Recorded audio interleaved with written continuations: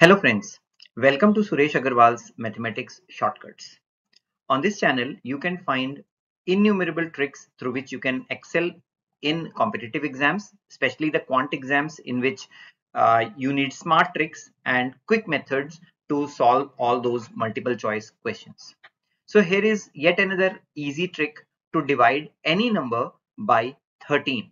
Yes, Vedic maths is amazing and if you use some of those methods you can perform the calculations normally which you take like one and a half to two minutes to solve. Uh, you can do that in 10 to 15 seconds time thereby increasing your speed 10x let me tell you about the best offers which we have on our content. Uh, the ebook of short tricks that's the most uh, bestseller content we have. And along with the reasoning course both of them come with the video support that's very important you know whenever you get stuck anywhere you can use the video support and feel comfortable. Then we have lots and lots of stuff for our cbse students of class 6 7 8 9 10 and on various topics of analytical reasoning and uh, logical reasoning we have brought out uh, comprehensive practice worksheets also. So if you want to have a look at all those stuff you can visit our app that is learning loop app Download it from the Play Store. The link is given here in the description box below. Or you can send me a message on WhatsApp 9896369963. You can note down the number.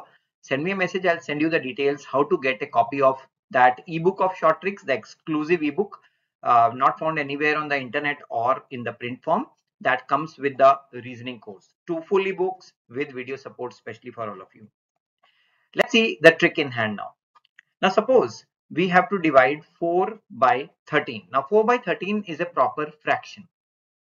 Now when you have to uh, find the decimal representation of a proper fraction in which the denominator is 13, let's consider that the numerator 4 is uh, let's represent it by n.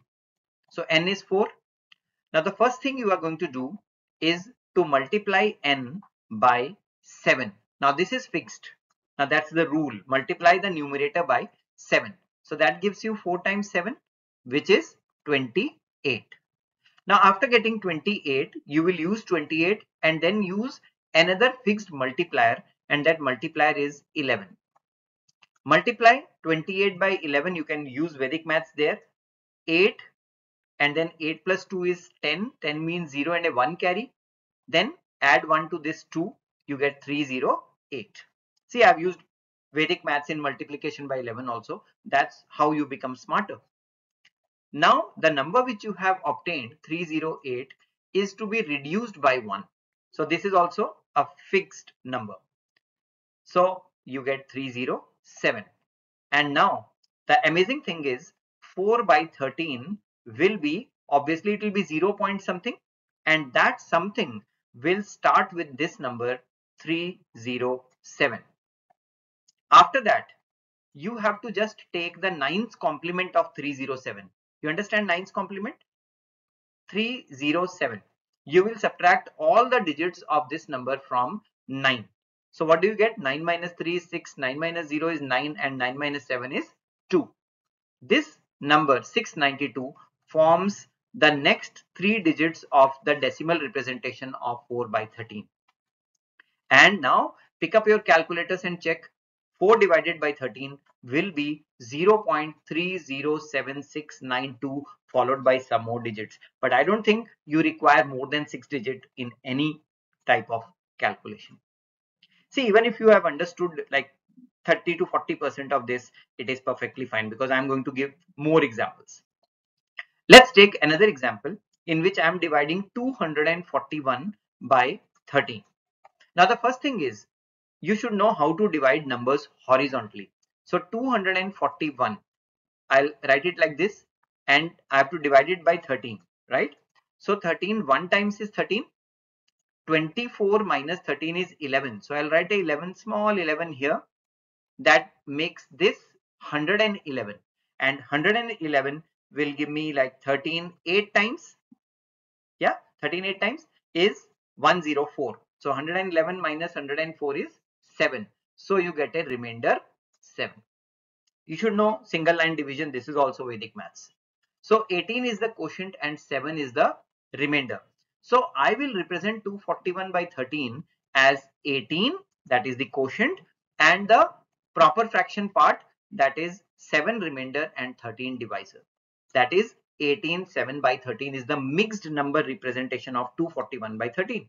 I think that's elementary and everybody should know how to convert an improper fraction to a mixed number form. Now 18 7 upon 13 the answer obviously will be 13 point sorry 18 point something right? Because 18 was the whole number part. So 18 point something. It's only about 7 upon 13 how do you find the decimal of 7 upon 13 so let's do the same thing again. The 7 the numerator is to be multiplied by a constant number that is 7 now this is fixed 7 so 7 7 times is 49 what you get that is 49 will be multiplied by 11 now. How do you do that? The 9 comes as it is. 9 plus 4 is 13. So 3 and a 1 carry. 1 gets added to 4, you get 5. So it's 539 and 539 is to be reduced by 1. So that becomes 538. So 538 forms the first three digits after the decimal when you have to find the decimal representation of 241 by 30. Now what is the remaining part? The nines complement is going to work. 538, right? So if you take the nines complement of 538, that is subtract all digits from 9, you get 9 minus 4, 5 is 4, 9 minus 3 is 6 and 9 minus 8 is 1. So write 461 here and put dot dot dot. That means the decimal representation continues. And pick up the calculator again. 18.538461 is the decimal representation of 241 upon 13 students maths is amazing. You can keep on you know going on and on. Just try 3516 divided by 13 now let me tell you that uh, one line uh, division which you can do and convert that to a improper fraction so 3516 right and I have to divide by 13. So 13 two times is 26. So if you subtract 26 from 35, you get 9. So 9 comes here. 13 7 times is 91. So 0. Now 0 comes here and this 6 becomes the remainder. So actually 3516 upon 13 is the quotient 270 and the remainder 6 upon the divisor 13. So I've converted that to a mixed number very easily. This is yet another takeaway from this video. You can find the, the mixed number representation of an improper fraction so easily using Vedic maths. So 276 upon 13. Now try finding the decimal of 6 upon 13 using the method which I have told you just now. Your answer will be 270 that is the whole number part point whatever you find here. Let me know in the comment box what is the decimal in place of the question mark there. I'm sure you are going to divide any number by 13 after watching this amazing, amazing video.